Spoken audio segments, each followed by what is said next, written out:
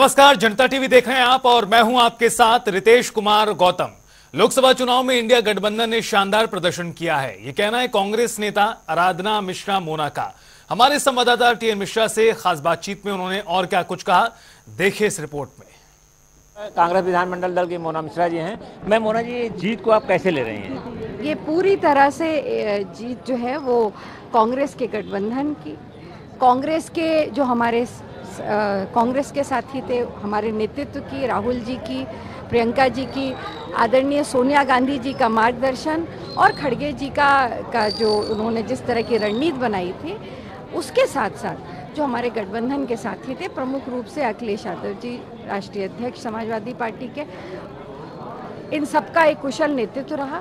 इसके साथ साथ हमारे कांग्रेस के एक एक कार्यकर्ता जो जिन भी परिस्थिति में रहो पर उसने कांग, उसने कांग्रेस का दामन नहीं छोड़ा। पूरी ताकत से मजबूती से जहाँ पे कांग्रेस लड़ रही थी वहाँ कांग्रेस के साथ खड़े रहे जहाँ समाजवादी पार्टी लड़ रही थी वहाँ उनके साथ खड़े रहे। और समाजवादी पार्टी के कार्यकर्ताओं का जो सामंजस्य था ये बहुत बड़ा इसने निर्णायक भूमिका निभाई।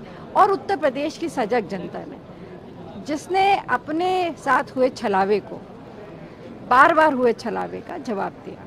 एक चीज़ पूछनी थी आपसे कि अब 2027 का चुनाव आएगा सबसे बड़ी जो अभी तो आप ही अकेले विधानमंडल में। तो अब कांग्रेस की रणनीति क्या ऐसे गठबंधन चलता रहेगा कि आगे क्या रणनीति रहेगी? बिल्कुल चलेगा मजबूती से चलेगा। जैसे अभी तक पिछले पाँच वर्ष पाँच महीनों की मजबूती आपने देख ली गठबंधन की।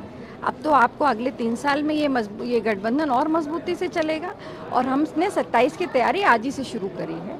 हमने समीक्षा करी है 11 तारीख से 5 15 जून तक। ये हमारी धन्यवाद यात्रा हम शुरू कर रहे हैं, जिसमें हर प्रत्येक पार्लियामेंट कॉन्स्टिट्यूंसी में, अस्सी कॉन्स्टिट्यूंसीज में, जहाँ पे हमारे प्रत्याशी जीते हैं या जो नहीं जीत पाए, वो अपने अपने क्षेत्र में जाएँगे। इसके साथ साथ जहाँ पे तिरसठ कॉन्स्टिट्यूंसीज में, जहाँ पे समाजवादी पार्टी के हमारे प्रत्याशी थे वहाँ पर भी कांग्रेस के हमारे जो पदाधिकारी है वो हर पाँचों पार्लियामेंट असेंबली कॉन्स्टिट्यूंसीज में धन्यवाद यात्रा निकालेंगे। एक आखिरी सवाल मेरा ये है कि अब जो है अभी तक लगातार जो भाजपा कह रही है कि काम भाई जो आपने जो वादे किए नए पद में वो वादे कैसे लागू होंगे आपके कैसे तो, तो, तो- सामान्य सी बात है हाँ। कि ये वादे तो हमने इस अपेक्षा से रखे थे कि हमारी सरकार बनने जा रही है। और हम बहुत हद तक उसको सफल भी हुए, बहुत नज़दीक तक पहुँचे। पर ठीक है, ये लोकतंत्र है, जनादेश को हमेशा स्वीकारना चाहिए। आज की तारीख में अगर हम विपक्ष में बैठे हैं तो हम विपक्ष की भूमिका पूरी मजबूती से उठाएँगे। पर मैं इस बात को दोहरा दूँ। इस बात पर भी आज चर्चा हुई है।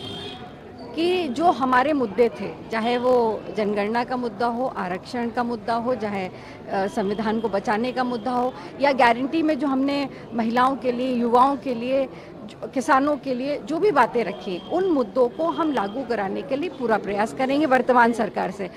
जब भी, जहाँ भी संभव होगा हम इसको लागू कर पाएँगे। जैसे ही तो 24 घंटे का समय नहीं लगेगा, ये सारी चीज़ें लागू होंगी। यू तो मोना मिश्रा से इनका कहना है कि जो कांग्रेस का न्याय पत्र में जो घोषणा पत्र उनका अपना था, जो न्याय पत्र जारी किया गया था, उनके मुद्दों को लागू कराने के लिए ये जो है इस सरकार से पूरी प्रयास करेंगी। लोकसभा में पूरा इसके लिए कोशिश की जाएगी और सरकार पर दबाव बनाया जाएगा कि महिलाओं, किसानों और जो युवाओं को जो वादे किए गए हैं, वो उन्हें पूरे किए जाएँ। कैमरा पर्सन रियाज के साथ टीएन मिश्रा, जनता टीवी, लखनऊ। और रुकेंगे यहाँ पर एक ब्रेक के लिए। आप देखते रहिए जनता टीवी।